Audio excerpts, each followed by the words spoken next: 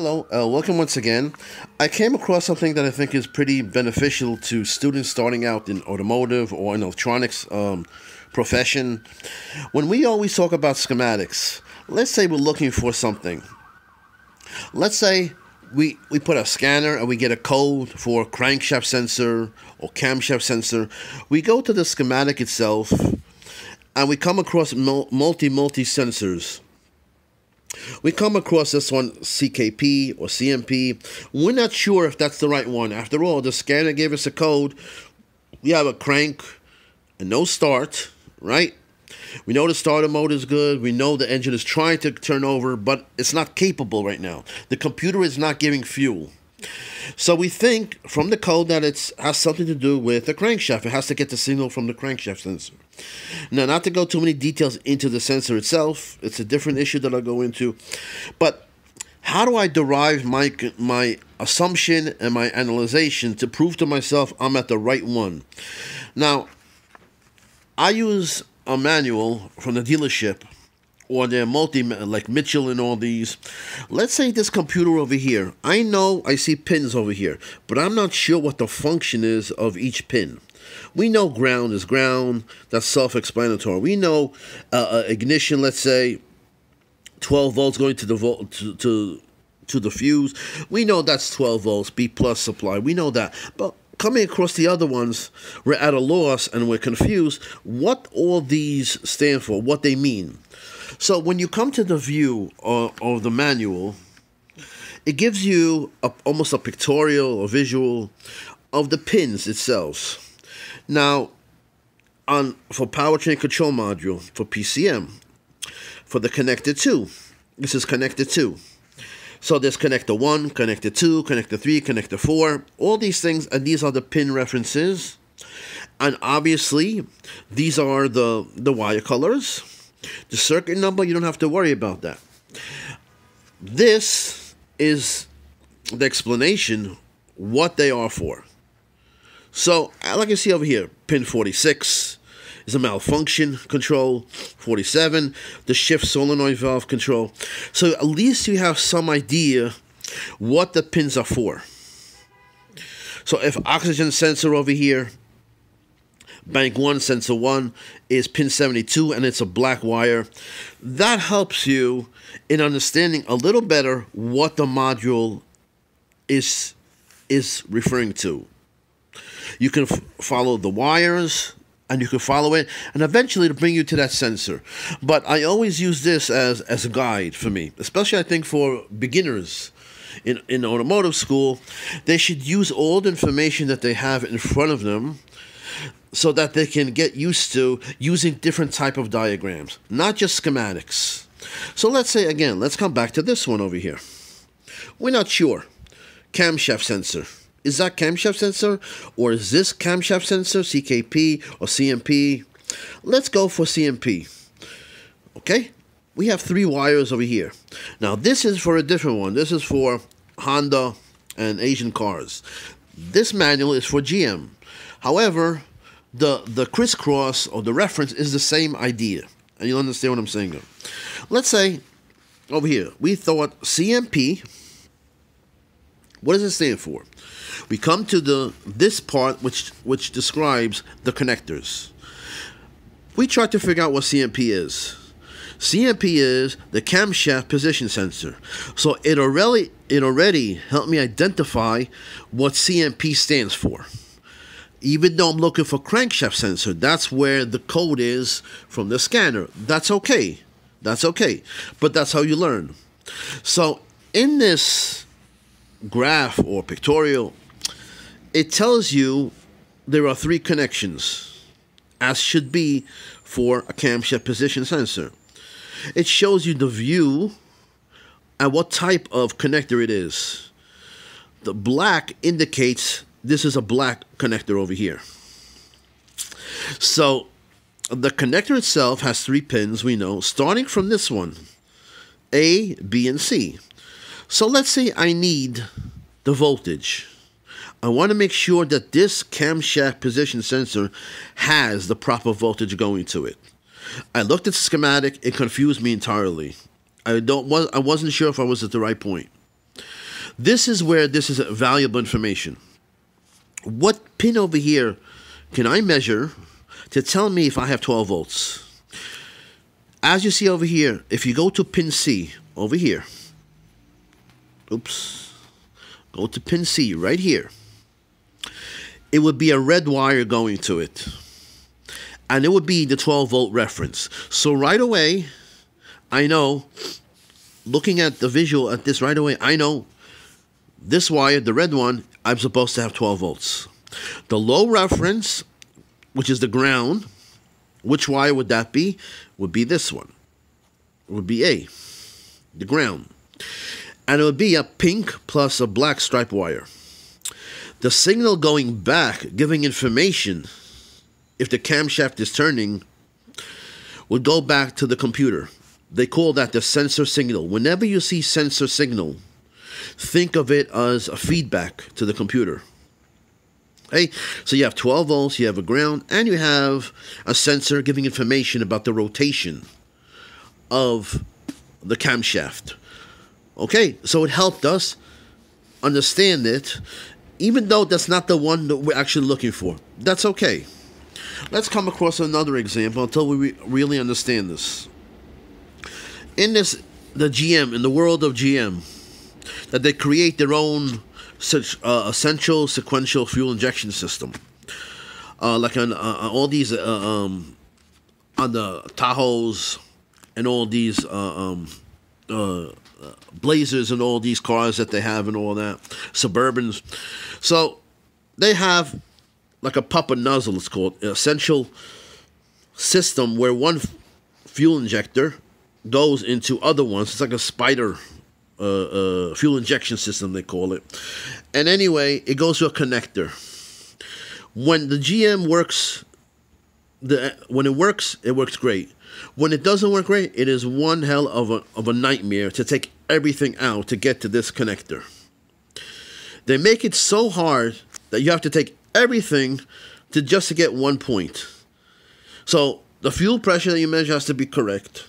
You have to analyze everything else. And once you take it apart, if it takes you an hour, you have to replace that part. You don't take everything out and say, well, it must be good, I'll go put it back together. No, that's a lot of work. Once you derive at your conclusion that this might be, let's say, this connector or uh, uh, the fuel injectors, whatever, they are bad. After doing all that work, you have to replace it. Go tell the customer, well, it took me two hours just to put it back, but that wasn't the problem. Can't do that. You have to derive at a conclusion for yourself saying, I know this is this is this is the bad part. Now, as you see over here, as you see over here, this would be A, B, C, D, E, F. Now you come down here. You don't go over here. So it's going this way, going this way, going this, almost like a chip, uh, an IC chip. So let's say I want, uh, uh, let's say I want the B pluses over here, going to the fuel injector. We know fuel injectors get 12 volts. And we know the fuel injector, like I made the other video, also get the ground from the control wires from the uh, um, the PCM, from the uh, computer module. So therefore, let's say I need to measure 12 volts at the connector after taking so many things apart. So anyway, usually pink for GM is usually 12 volts. Ignition 1 voltage. Where would I go? D and E. So let's find D and E. A, B, C, D, and E. So these two would be 12 volts, among others that you have, H, J, and all these. So let's say L, ignition 1, J, H, right? Going across here, over here, you come to M, fuel injector control. That's a that's a ground. So therefore, you have to look at each one rather than numbering them. These geniuses, they put lettering over here for whatever reason. So therefore, there are many, many ignition pluses depending how many uh, uh, fuel injectors. Here are six fuel injectors. You'll have six voltages, ignition one voltages. You get the. I think you get the point. So that's that. It's helpful. Let's come to the other one that we started this whole video 10, 10 minutes ago that I started. Now, we said, what does CKP stand for? I looked at this and I said to you, I have a problem with CKP. Engine is cranking but not starting. Right? So, CKP, sensor over here. I come to this manual and it tells me CKP. Sure enough, that's what I'm looking for. And sure enough, it's a black connector. But it's hard to find, obviously, by the crankshaft. So, anyway, I want to make sure I get 12 volts over there if I would have access to it. What do I do? Same principle as before. Same principle. A, B, C. I want to make sure I have 12 volts. Which one do I go to? A. It's a light green wire. The one that goes to the light green wire, which is which which is this one. So which one? 12 volts right here. The ground is B. Which one is B? Ground. Ground. Which one will give back the, the information that the crankshaft is turning so that the computer can can ground the fuel injectors to give fuel and spark with time with with uh, proper timing. Right here over here, CKP sensor signal. That's C, which is the yellow one, and that's a signal where back to PCM. Okay, so how helpful is this? Like I said before, I started this whole video saying students starting out and all these things not just schematics are important. These configurations for connectors are very important. Engine engine coolant temperature. When you go in the schematic itself, you'll see this ECT. You're saying to yourself, what what does that mean? Well, sure enough, you come across this section and it tells you what it means. Engine coolant temperature. We have to know the temperature of the coolant, right? Now let's say let's say I want to know the signal ECT sensor signal, right? There's a sensor that goes the sensor the signal that goes back to the um, the computer to tell it the voltage. Remember, as the coolant goes higher in temperature, right?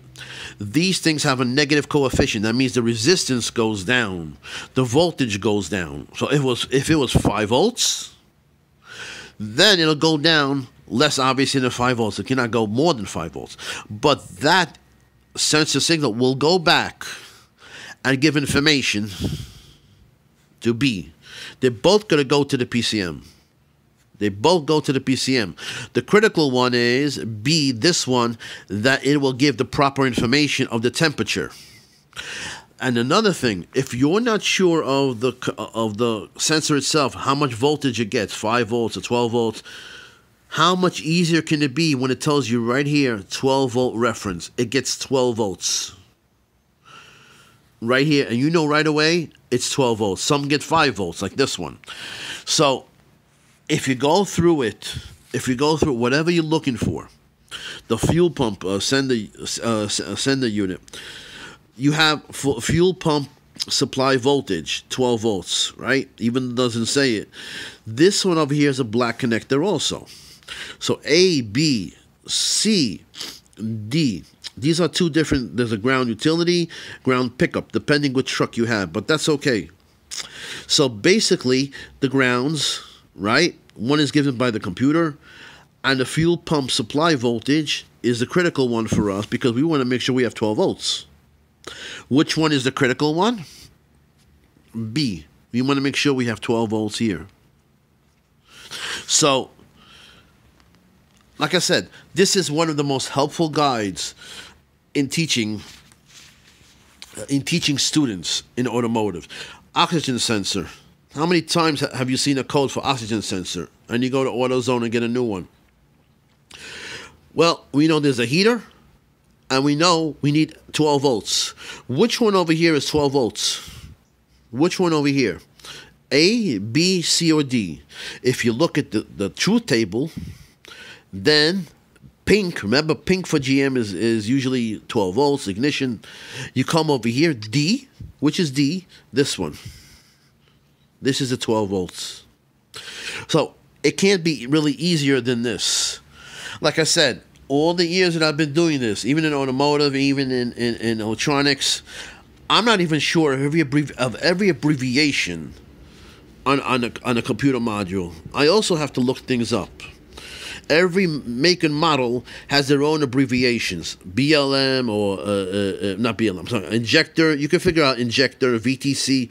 Some are hard to figure out. So what do you do? You have to go to a cross reference and see what it's referring to. Even though you go through the lines, you can always trace the lines and it'll bring you to that component and you'll say okay oh intake air uh, temperature sensor whatever it is whatever it is right but this is this is really 100% proof to you that you are in the right area and you're diagnosing more correctly so if you don't see anything that i explain here you can always go to the channel joe electronic schematics for auto and look and view different um, uh, videos over there, and you'll find things that maybe I did not mention here.